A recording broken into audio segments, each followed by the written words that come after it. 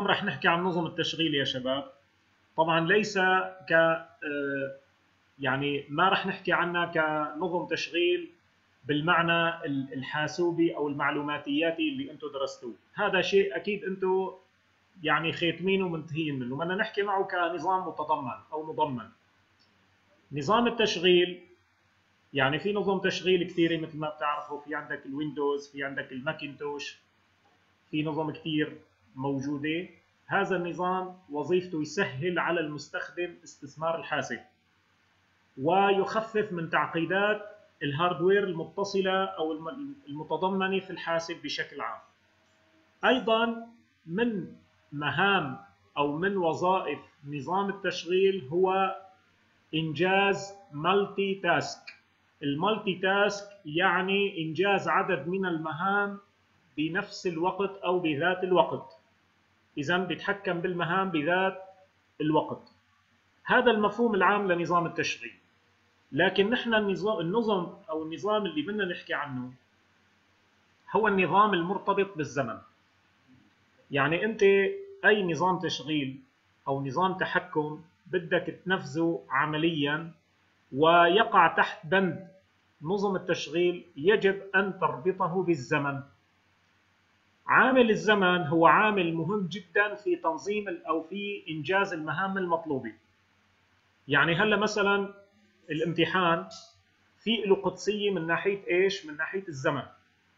في طالب ينجز المهمة ضمن الزمن المحدد وهي الإجابة على الأسئلة وفي طالب بتلاقيه لآخر لحظة ما أنجز المهمة.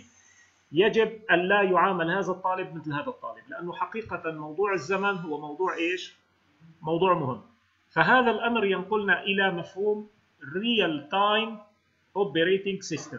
إذا أنت بدك تشوف هذا المفهوم اللي هو real time operating system هي أنظمة التشغيل المرتبطة بالزمن يعني التي صممت على أساس إنجاز المهمة اللي بيسموها ال task أو بيسموها بعض المراجع بيسموها thread شو بيسموها؟ thread إنجاز المهمة بالزمن المحدد.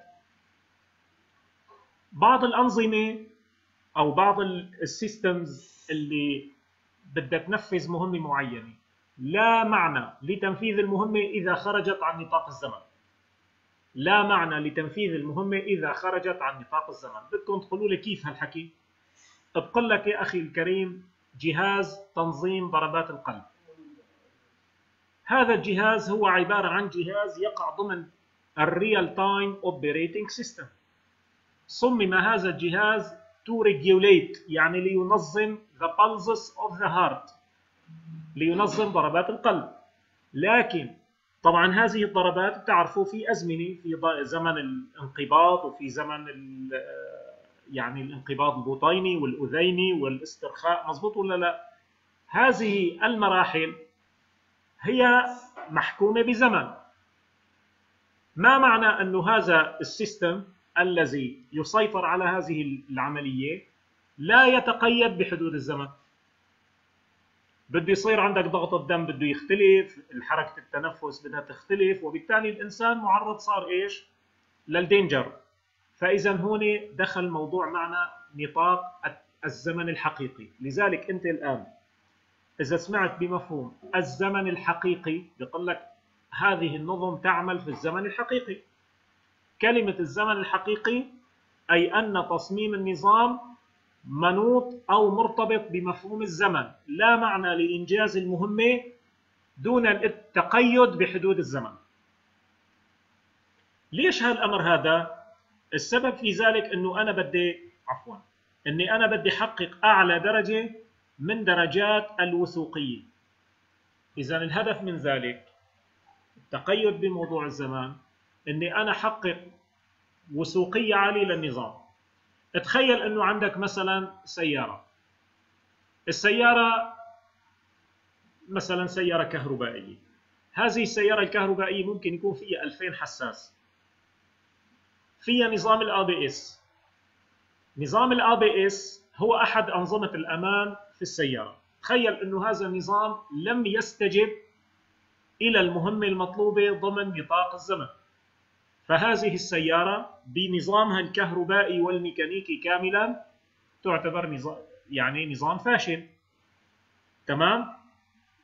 أو عندك مثلا نظام الجيروسكوب في الطائرة اللي مسؤول عن موضوع البالانس أو التوازن في الطائرة. فموضوع أنه يحدد الإحداثيات أو يحدد نقطة التوازن باللحظة المناسبة هو موضوع مهم جدا ولا معنى له إذا أنجز هذه المهمة خارج نطاق الزمن المحدد. لذلك آه، صار عندنا في مفهوم طلع عندنا مفهوم جديد اسمه مفهوم آرتوس. شو هذا المفهوم اسمه؟ آرتوس. يعني أنت هلأ بتدخل على المراجع مباشرة ما في لزوم تقول له إنه والله النظم التي تعمل في الزمن الحقيقي بتقول له RTOS يعني real time operating systems بالنسبة للتطبيقات البسيطة يا شباب ما في لزوم إني أنا أعمل التطبيق وفق نظام ال RTOS. هلا ال RTOS هو مو يعني بالنهاية ال RTOS هي فلسفه هي حقيقة ال RTOS هي فلسفه يعني بمعنى آخر أنت إذا صممت المهام ضمن سيستم معين وربطتها بوثوقيتها وتنفيذها بموضوع الزمن صار اسمه أرتوس. أما إذا ما ربطتها بموضوع الزمن فما اسمه أرتوس. يعني ما ما في مشكلة في هالموضوعات يعني على سبيل المثال آه، الأبواب التي تفتح تلقائيا وفق الإشارات مثلا الانفراد أو يعني مثلا في البنوك أو ما شابه. شو المشكلة إذا فتح الباب قبل ما يصل الشخص أو المراجع قبل مثلا متر ولا نص متر ولا ربع متر ولا ما, ما في مشكلة. المهم إنه يصل في الزمن المحدد. هذا اسمه توليرانس يعني في سماحية بموضوع الزمن. فأنت هون خففت درجة الارتباط بالزمن. هناك بعض التطبيقات أساسا لا تحتاج إلى موضوع الزمن. ما في مشكلة ما هي مرتبطة بموضوع الزمن بشكل كبير. يعني على سبيل المثال الأنظمة التي تضبط الإنارة وفق خلينا نقول وفق الطاقة طاقة الشمس. شو المشكلة إذا مثلا هالضوء هذا في البيت إنه أنار فور غياب الشمس ولا قبل بشوي ولا بعد بشوي؟ كمان ما فيها المشكلة يعني. فاذا الأنظمة البسيطة كلمة هون التطبيقات البسيطة أي لا أقصد التطبيقات سهلة التصميم. إنما التطبيقات التي ليس لموضوع الزمن أثر على نتيجتها. فهي ما بتدخل بنطاق الارتوس لكن في عندك تطبيقات معقدة وممكن يدخل فيها الأعمال الدورية بشكل كامل فلازم يكون الارتوس مأخوذ بعين الاعتبار أثناء عملية التصميم. السبب في ذلك إنه أنت ممكن يكون عندك مالتي تاسك ممكن يكون عندك مالتي تاسك وأنت بحاجة إنه تعمل تغيير في أولوية العمل بين هذه المهام. اذا هذا اسمه varying execution order. اذا أنت عم تعمل تغيير في ترتيب العمل بين هذه المهام عن طريق إيش؟ التحكم بالأولوية.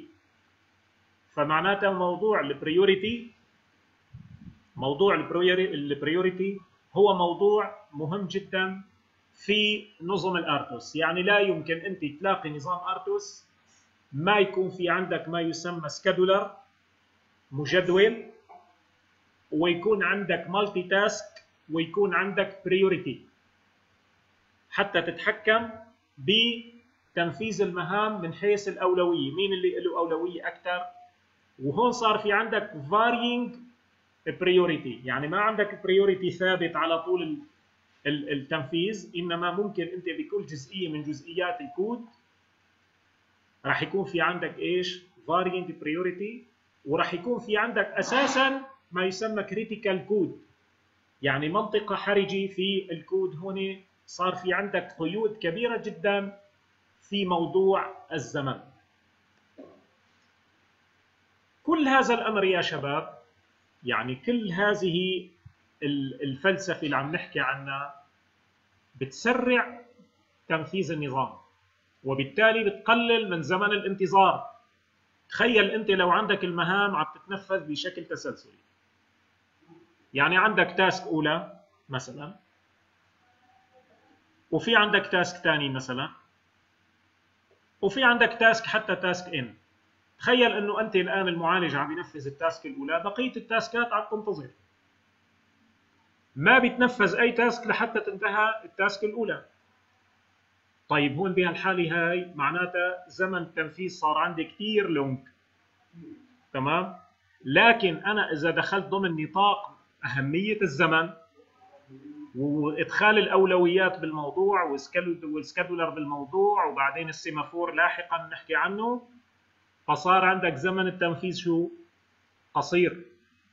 صار عندك زمن التنفيذ قصير وبالتالي تستطيع أن تصمم نظامك وفق الزمن الذي تفرضه العملية التكنولوجية. إذا صار في عندك إمكانية للتحكم بالزمن. واضح الكلام؟ إذا هذا كلياته ما يسمى minimize waiting time. إذا معناتها هي يعني أحد الفوائد الكبيرة التي يمكن قطافها أو جنيها من أنظمة الآرتوس آه، بشكل عام. إذا أول شيء لازم قرر هل النظام بحاجة إلى إلى موضوع الزمن ولا لا. التطبيقات البسيطة قلنا ما في ضرورة لها الموضوع لكن في التطبيقات المعقدة سواء في أنظمة السيارات الكهربائية أو في المساور الفضائية أو في الطائرات أو في أجهزة تنظيم آه، جسم الإنسان موضوع الآرتوس موضوع مهم جدا جدا. تحكم بالمهام تحكم بأولوية المهام إمكانية تصميم نظم ذات أولويات متغيرة مع الزمن. كل هذا الأمر يصب في مصلحة تقليل زمن الانتظار للمعالج وبالتالي تخفيف استهلاك الطاقة تحقيق الاوبتمايزيشن أو العمل الأمثل في تنفيذ المهمة المطلوبة أيضا في عندنا فائدة السيطرة على موضوع آه، مشاركة المصادر يعني صار في عندك ما عاد في عندي مشكلة إنه يصير في عندي interference تداخل في مشاركة المصادر ما هو تعريف المصدر؟ مين بيقول لي المصدر شو هو ال resource؟ شو هو ال resource؟ ال resources هي أي hardware أو software يمكن للمعالج أن يدخل إليه ويعني أو أي task ممكن أن تتعامل معه. يعني مثلا الطابعة عبارة عن resource الفاكس عبارة عن resource الشاشة عبارة عن resource كلها عبارة عن إيش؟ resource ات فال resource هو عبارة عن مصدر يمكن لأي task أن تدخل إليه وتنفذ تعليمات معينة أو تنفذ مهمة معينة بناء على يعني ما يتطلبه ال system بشكل عام. اذا هذا الأمر آه، بيؤدي إلى السيطرة بشكل كامل على جميع الريسورسات وعلى الشيرد هاردوير. الشيرد هاردوير معناته هو الهاردوير الذي يمكن لأي task أن يعني تدخل إليه أو تشارك فيه. القابلة للمشاركة مثل قلنا الطابعة أو مثلا الفاكس أو السكانر أو ما شابه. هلا اذا بدنا نعمل مقارنة بسيطة. يعني حتى تتضح الصورة أكثر لبعض الزملاء. هي في عندي هون مخططين. خلينا نسميهم ممكن يكونوا مخططين تدفقيين. المخطط الأول هو مخطط كلاسيكي لتنفيذ مهام بشكل تسلسلي بدون أخذ موضوع الزمن أو ال scheduler بعين الاعتبار. يعني أنت في عندك task معينة. تمام؟ مرحلة أولى وفي عندك مرحلة ثانية. ففي المرحلة الأولى أنت في عندك data ready على سبيل المثال أو data write حسب ما يكون عندك ال program فأنت الآن عم بتنفذ في هذه المرحلة. لا تستطيع أن تنتقل إلى المرحلة الثانية حتى تنتهي من المرحلة الأولى. فدائما في عندك التنفيذ عم بيكون إيش؟ عبارة عن تنفيذ sequence وبعد أن تنتهي إلى المرحلة الأخيرة تبدأ باختبار البرنامج من أول وجديد هذا اسمه busy wait يعني شو معنات busy wait؟ إنه في مرحلة معينة المعالج مشغول فيها أما المراحل الثانية المعالج في حالة شو؟ انتظار لكن إذا بدنا ندخل بمفهوم ال thread وال scheduler اللي هو مفهوم ال RTOS بشكل عام فأنا فيني أعمل هذا ال system اللي شايفينه فيني أنا قسمه إلى ثلاثة أقسام. القسم الأول رح سميه thread واحد. والقسم الثاني رح سميه thread اثنين. والقسم الثالث اللي هو transmit خلينا نسميه رح سميه thread ثلاثة. يمكن للمعالج أن ينتقل ما بين thread وأخرى. تمام؟ حسب ما تتطلبه قيود الزمن. يعني ممكن أن ينفذ المعالج جزء من ال thread الأولى. اضطر ينتقل إلى ال thread الثاني حتى إيش؟ يقلل زمن الانتظار. فممكن بال thread الأولى في عنده مرحلة معينة قد يعني مثلا على سبيل المثال بال thread الأولى طلب المعالج إنه يعمل مشاركة shared resource على طابعة. وكانت الطابعة في هذه اللحظة غير متوفرة. إما ما هي موصوله الطابعة أو الطابعة مشغولة بطباعة أمر آخر. طب شو بده يساوي المعالج؟ المعالج إيه okay ما هو جاهز؟ تمام. أنا بنتقل لل thread الثاني. ونفذ ما يمكن تنفيذه. بال thread الثاني المعالج طلب إنه يعمل مقاطعة مع مثلا resource معين أو يطلب مشاركة مع resource معين. إذا كان متوفر okay. ما كان متوفر ممكن يرجع لل thread الأولى يعمل اختبار. وممكن ينتقل للمرحلة الثالثة اللي هي الثريد الثالثة.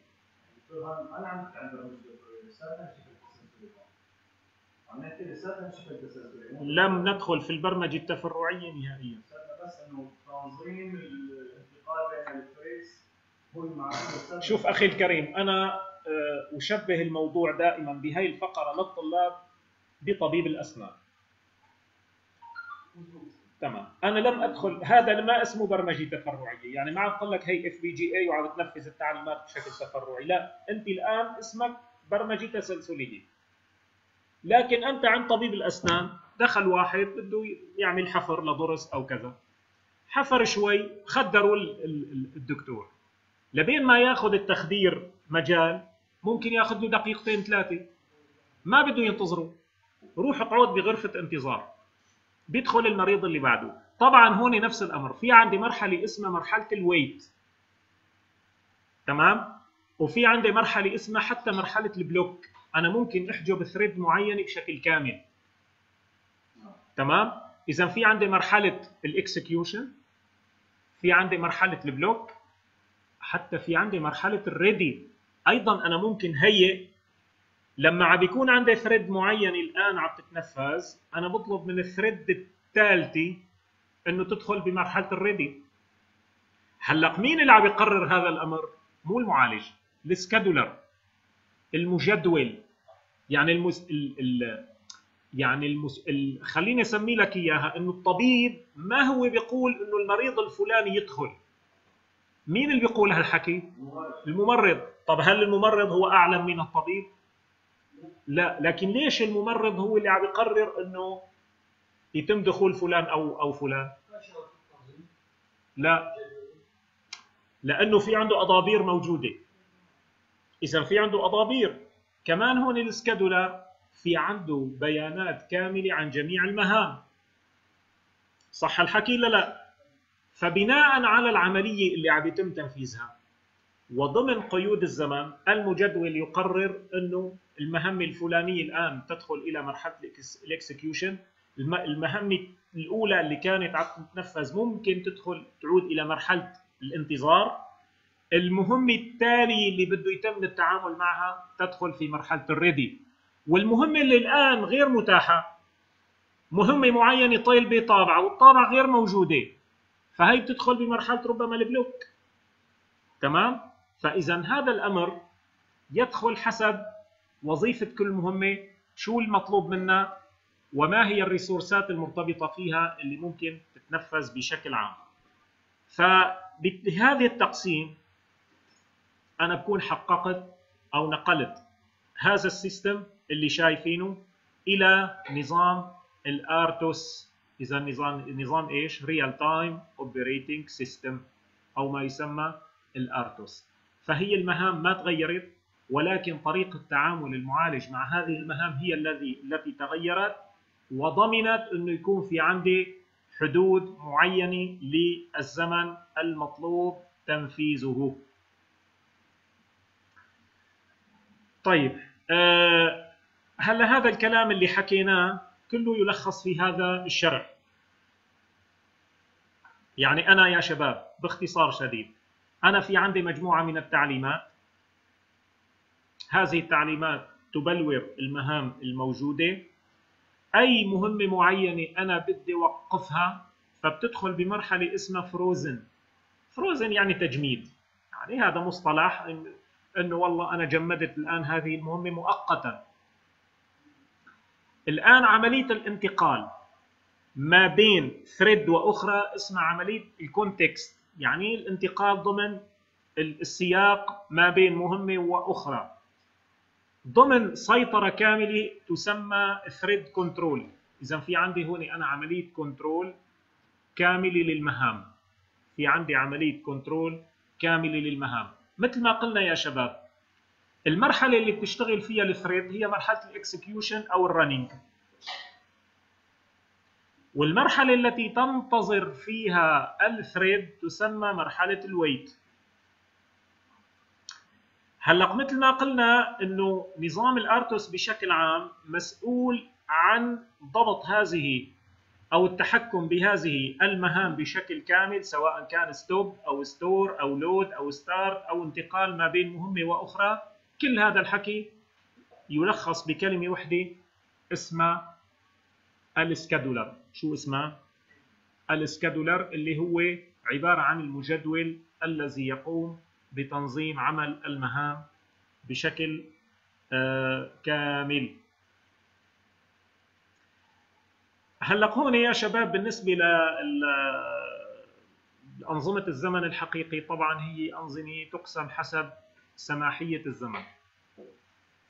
إذا كان عندك نظام يحقق خلينا نقول من 80 إلى 90% من متطلبات الزمن فهذا اسمه Soft Real Time Operating System. بيقول لك إنه أخي أنا هالتطبيق عندي إذا حقق 80 إلى 90% من متطلبات الزمن فهذا اسمه real time system ولكن ليس يعني limited بشكل قاسي إنما ممكن يكون في عندنا إيش؟ soft يعني ممكن يكون في ليونة في التعامل بموضوع الزمن مثل ما قلنا مثل عملية فتح وإغلاق الأبواب في البنوك أو في الفنادق فممكن حدود الزمن ما تكون قاسية 100% لكن إذا كان من المطلوب من ال system أنه يحقق قيود للزمن بنسبة 100% يعني لا يجوز 99% فهذا معناته عبارة عن hard RTOS. أو ما يسمى hard real time operating system تمام؟ اذا لازم يحقق 100% فهي اسمها deadlines شو بنسميها هاي الحالة اذا لازم يحقق عبارة عن إيش؟ عن 100% من هلا ال deadlines يعني معناتها عبارة عن إيش؟ يعني حدود الزمن 100% ال deadline طبعا حتى لو كان 80% كمان اسمها deadline لكن هل المطلوب إنه يحقق 80% 90% 100% فإذا هذا يقع ضمن حدود ال deadlines لذلك في السيارات الكهربائية مثلا مثلا بشركة تسلا حتى يحققوا المعيارية الخاصة بموضوع الزمن بيروحوا بيعملوا نظامين يعملان على التوازي. ما دخلناهم بالبرمجه المتوازيه عم نحكي كمعالج. بيروحوا بياخذوا board ين يعملان على التوازي. بحيث أي board صار فيه مشكلة ولو بجزئية معينة من الزمن يدخل مباشرة ال board الثاني بالخدمة ويكون جاهز لتنفيذ المهام من حيث انتهى حتى يكون في عندك تحقيق لموضوع ال deadlines بنسبة 100% ما يكون في عندك تأخر ولا 1% فإذا معناتها ال real time operating system قسمين. قسم هو ال soft وقسم هو إيش؟ ال hard. ال soft مثل ما قلنا عفوا ال hard خلينا نقول بالبداية يحقق ال deadlines بنسبة 100%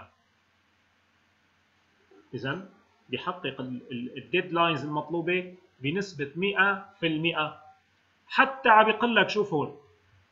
حتى عم بيقول لك بأسوأ الشروط. بأسوأ شروط العمل. طبعا شروط العمل يعني شروط التحميل. يجب أن يحقق هذه آه، المهام وأي فقدان لل deadlines سوف يكلف أو يكون له تبعات خطيرة. فاتل معناتها خطيرة إذا أي تأخر في تنفيذ هذه المهام سيترتب عليه يعني عواقب وخيمة خلينا نسميها. آه، طبعا هذا الأمر مثل ما قلنا في له علاقة بحياة الإنسان آه، قضايا معينة تتعلق بالحياة أو ظروف خاصة لازم يكون في عندنا تقدير لهذه الظروف. أما إذا كان عندك ال system قادر على أنه يحقق معدل عام من حدود الزمن فهذا المعدل يمكن أن ينخفض أو يرتفع حسب ما تقرره العملية التكنولوجية. فهذا الأمر يقع ضمن نطاق ال soft real time. طبعا مثل عم يقول لك على سبيل المثال مثل مثلا آه، عملية معالجة frame ات فيديو. يعني أنا لو والله فقدت مثلا شوية بكسلات من الفيديو أو شوية frame ات ما بتوقع فيها المشكلة الكبيرة. طبعا الدقة تنخفض. لكن لن يكون لها مثل دقة المحاضرة. إذا كانت دقيقة 100% ولا 99 ولا 90% فبتكون هي إيش؟ إلى حد ما حققت ال level المطلوب. فهذا اسمه عبارة عن إيش؟ عبارة عن real time operating system أتصور الآن صار عندكم فكرة واضحة عن موضوع ال RTOS السؤال هل نظام ال RTOS متضمن ضمن ال Discovery اللي أنتم أخذتوها؟ كيف قررت؟ لماذا قلت لا؟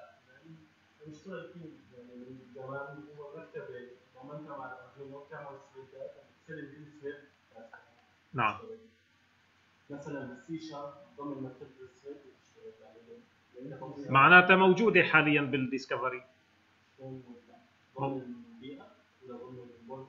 ال board وضمن البيئة. موجودة.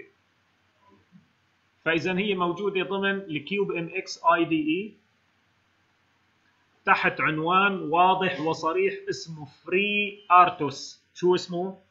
FreeRTOS فانتم المطلوب منكم تنفذوا لنا task ين أو ثلاثة باستخدام ال RTOS على ال board ال Discovery اللي موجود عندكم. وموجودة ضمن البيئة وتفعل ال RTOS ويتم الدخول إلى المهام وتوصيف ال scheduler وال semaphore وكل هالأمور هي موجودة عندكم. يعني كل هالأمور هي موجودة. تمام؟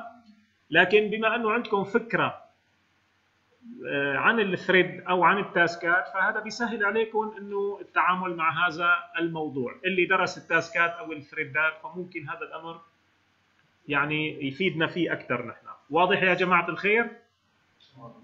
طيب.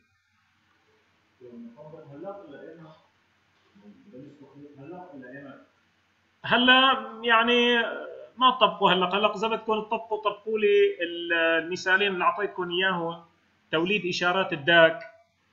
آه، في عندي هيك فيديوهين نزلتهم من شوي فيكم تطبقوهم بعد شوي إذا حبيتوا يعني. الآرتوس بده هيك شغل شوي بده واحد هيك يمخمخ فيه شوي. يعني بده شغل وتعليماته شوي هيك محروفه شوي. لكن آه، موجود. يعني موجود. الأرتوس موجود. طيب الأرتوس يا شباب مثل ما تفضل زميلكم آه، في له فلسفة خاصة بكتابة الكود. يعني مثلا أغلب نظم ال RTOS حلقة ال for فيها فاصلتين منقوطات. ما بعرف السي شارب موجود هالحكي؟ يعني بدك تلاقي إنه لما بدك تفعل ال RTOS أو بدك تدخل بحلقة آه، for خاصة بال RTOS فدائما بدك تلاقي ال for مكتوبة بهذا الشكل. طبعا يختلف.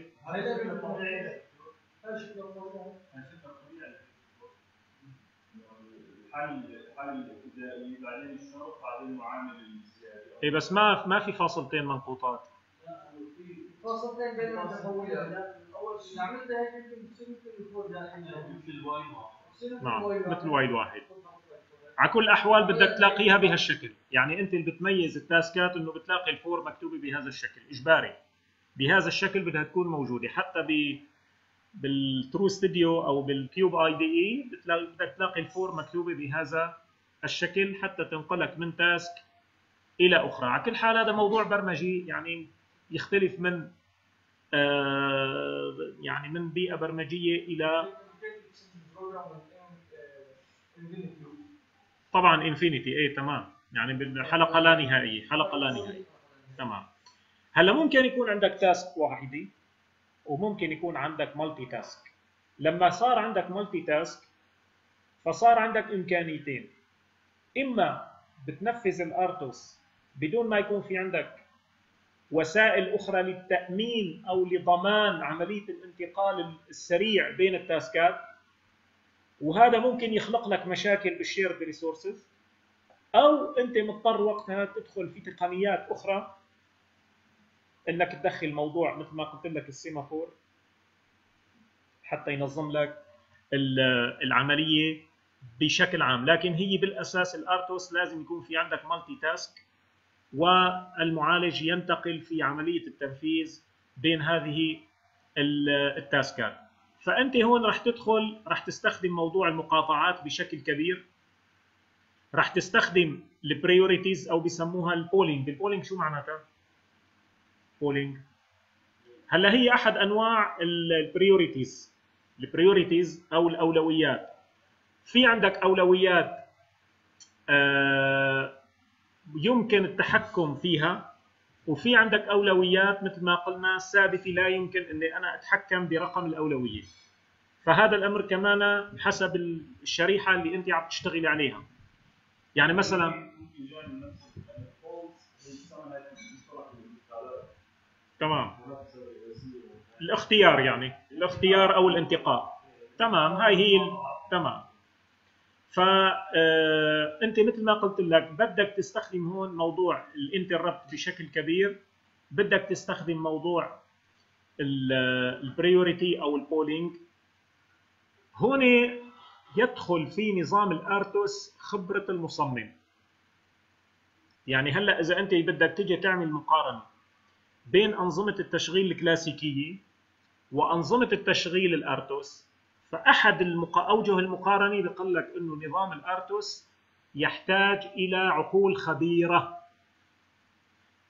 أما نظم التشغيل الكلاسيكي ما بحاجة لها لها لها الخبرة الكبيرة؟ فقط هي عملية تعامل تقني مع نظام التشغيل.